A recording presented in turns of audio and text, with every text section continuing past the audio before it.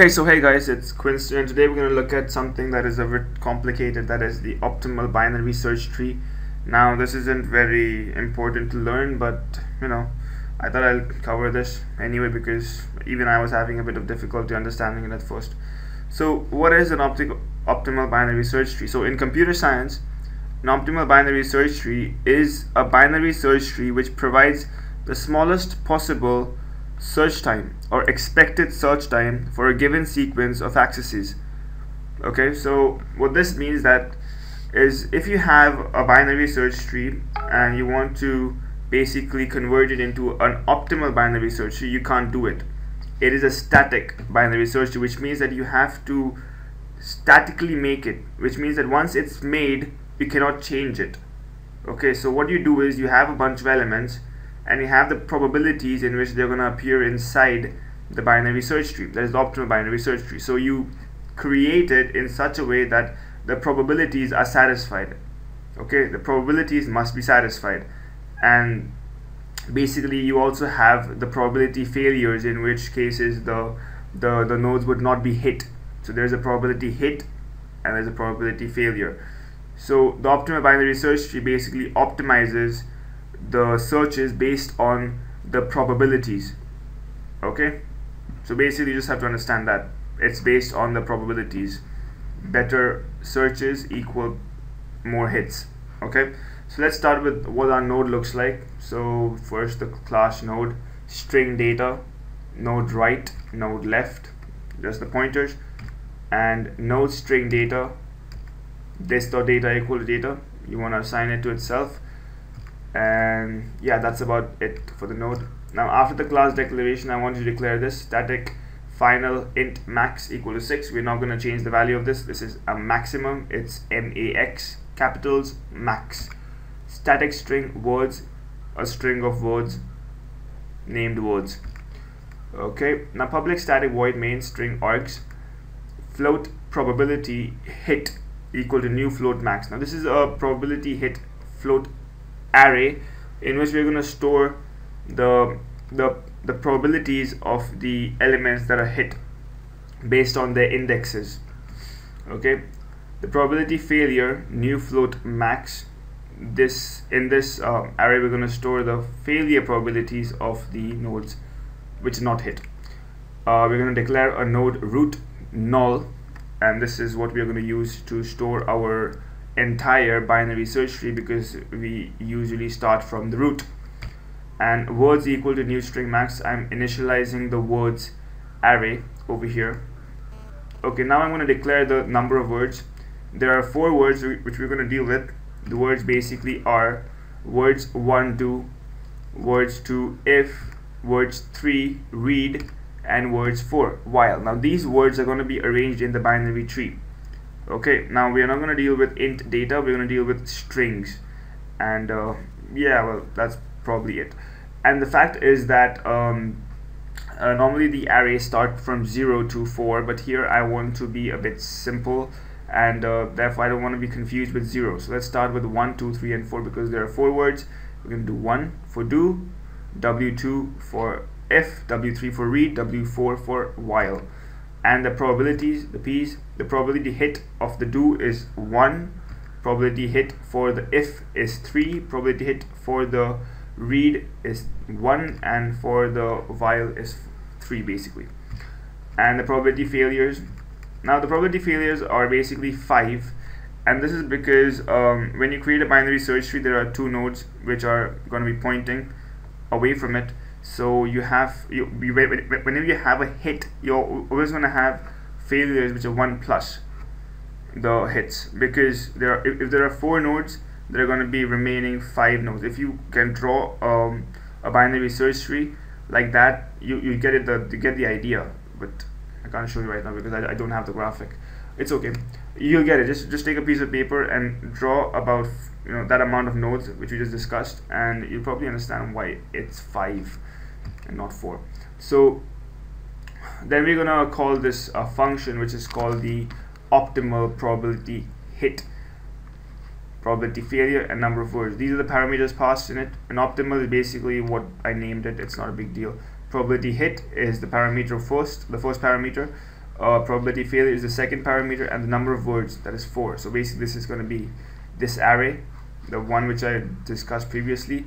Probability fa failure is going to be this array and num number of words is going to be the number of words that is 4 and then the, we're going to pre-order this is basically the main right? So we're going to pre-order and which is going to print it in a pre-ordered fashion like you know. I'll show you that the next slide is the pre-order function. So this is the pre-order function. I need I don't need to tell you this again and again I guess. This is pretty simple. If temp is not equal to null system dot out dot print temp data is something plus spaces or you can have new lines or tabs or whatever. I just put a space it's, simpler. And then we're gonna call it recursively. Okay? Next public static node optimal. Now this is going to return a node that is the root. Okay it's going to return the root. And uh, the parameters are float probability hit that is the first array the float probability failure array and the int words that is 4 I'm going to declare a node root equal to null float um, a, a, a two-dimensional array that is C float max max W and R. These are three two-dimensional arrays which are going to help us in finding the optimal binary search tree configurations uh, now I'm going to go through a loop that is int i equal to 0 i less than equal to number of words i plus plus that's i equal to 4 i equal to 0 i should be less than equal to 4 that is 0 1 2 3 and 4 so it goes through the loop five times. Then you have int j equal to 0 j is less than number of words. Same thing 0 1 2 3 4 five times. So basically they're gonna go 10 times each other. 5 5 are oh sorry 25 times. Whatever. So c i comma j equal to w i comma j equal to r i comma j equal to 0 so we have this basic loop is basically for um, initializing all of the uh, bidimensional arrays which we uh, declared above to 0 obviously it's not necessary because Java does it itself but I thought that was uh, I like to be particular in these kind of things.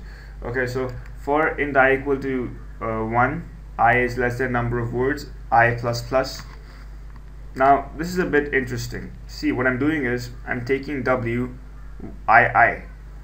Now let's just look at it in uh, the for loop sense i is equal to 1 and i is less than equal number of words which means i will go from 1 to 4 1 2 3 and 4 so which means that w1ii was going to be w11 w22 w33 w44 and similarly over here initially if i equal to 1 probability failure i minus 1 that is 0 1 minus 1 is 0 probability failure of 0 plus probability failure of 1 plus probability hit of 1 okay so which means that is going to be 0 1 and 1 probability hit.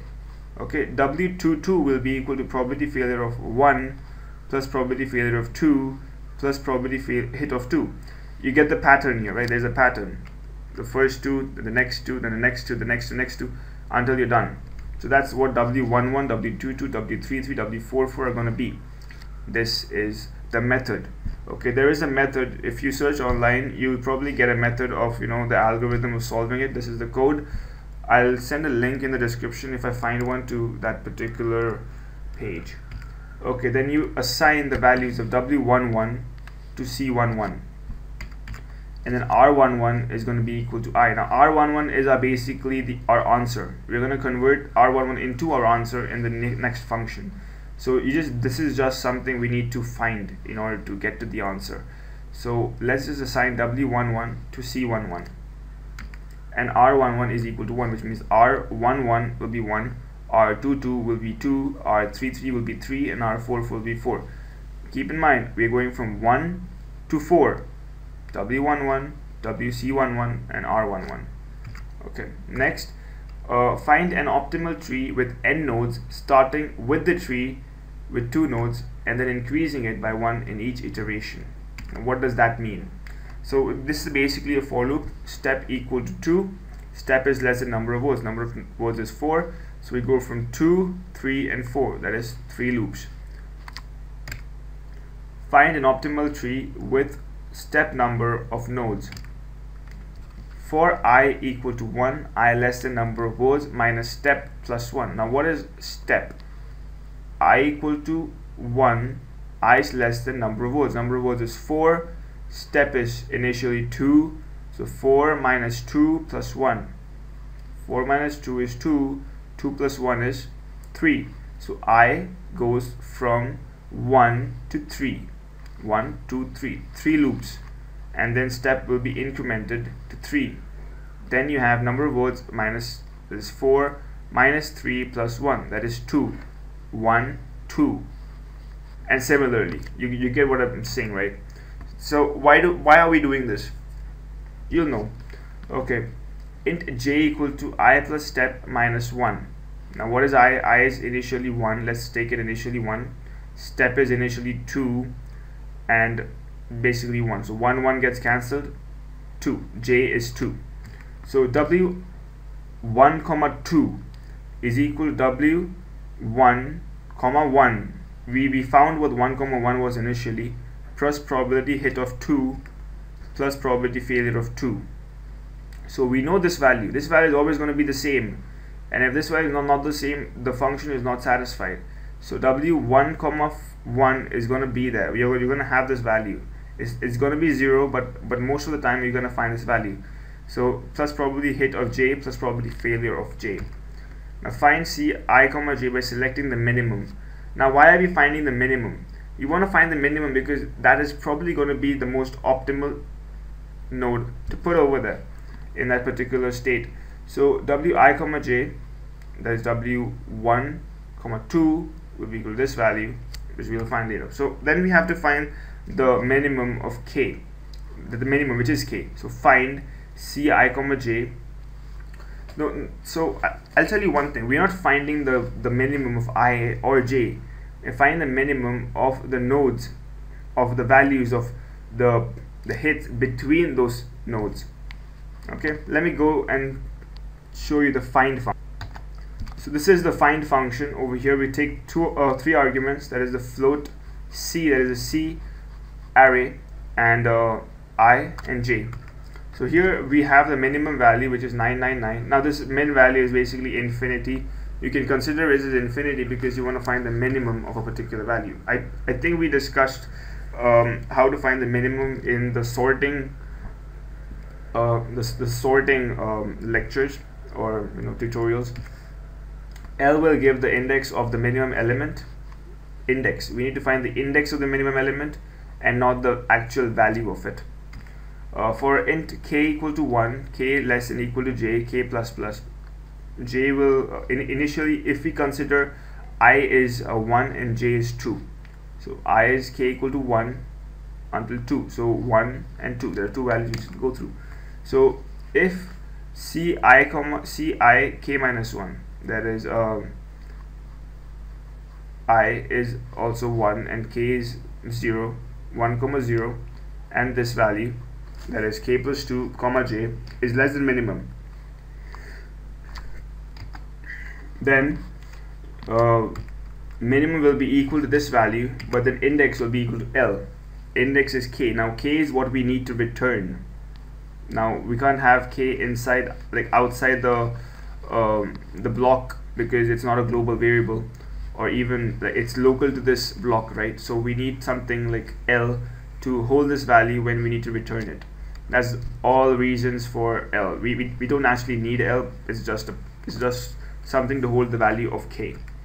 So that is it. We find the minimum when we go through the whole loop and then we return L. Okay we return L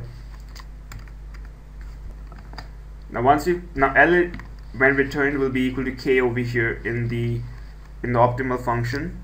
And then we're gonna see Cij is equal to Wij plus Ci k minus 1 plus C k and j. So what is this? Basically i comma j is the, the the the least amount which we found and we have to go through this. Now why? Because wij ci k minus 1 plus ckj. Now I told you that there is a method to solve this problem and if you don't understand this, I, am sure most of you won't and even I didn't at first. You have to go through the, the pen and paper solving of this. only then you will understand what this is I'm showing you the code but you probably have to do it with pen and paper and go through a few books rij equal to k now this is actually our answer this value over here is what our answer will look like. This is just formality housekeeping stuff but this is what our answer will look like. Now root equal to constructor construct r one number of words. Now where this going? Then we return the root. We find this first. Okay let's go to this function. Now in the construct node we have int r i int j. Node node equal to null if r i comma j is equal to equal to 0 return null. Okay? If, if it's equal to 0 you don't have to do anything just return null. Because you know that it's over. So node equal to new node words r comma j. Now words. Words is an array which contained the the words you know the, the do if while and the other one. So words of this number so 1 2 3 and 4 either of them you know why we, we store the values in r right? The minimum values in r. So r i comma j. Node dot left once this is done this node is created. We point it node left construct the new node. And it's going to recurse to this particular function again and go to the same loop. And node right so i j r i j minus 1 r i j plus 1 that should be pretty obvious. And then we return the node and we're done. So thanks for watching this. I know this is a bit abstract but I'll put a few screenshots of my book the page of my book which has this so you might understand it even more wholly. Um, yeah so thanks for watching. Uh, toodles. And like share and subscribe if you found this useful. If you didn't still like share and subscribe. I just like it when somebody does that